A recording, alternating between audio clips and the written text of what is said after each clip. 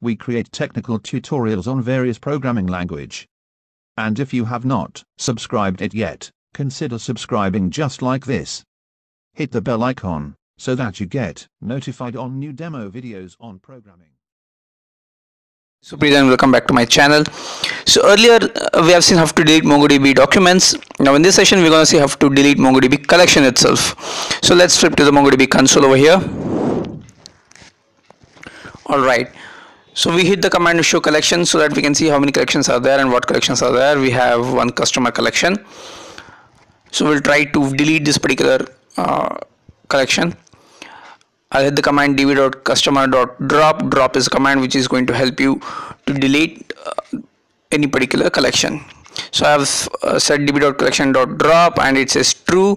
When the resultant is true, it means the collection is dropped. If you see there's only one collection over here, system.indexes, that is a system database. Now what we'll try to do is we will drop the database itself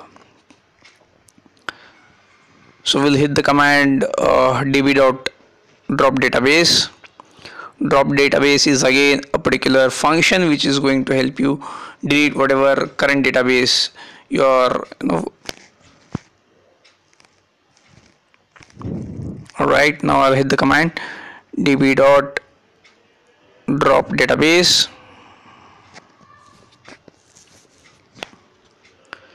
All right now you can see the resultant it says ok equals 1 that means test database is dropped. Test db is dropped. Now you can see the resultant if i say show dbs it says local and there's no uh, test db database over here so that's it guys. I hope uh, this is helpful. Uh, this is a small session but it's gonna be helpful for you. Thank you.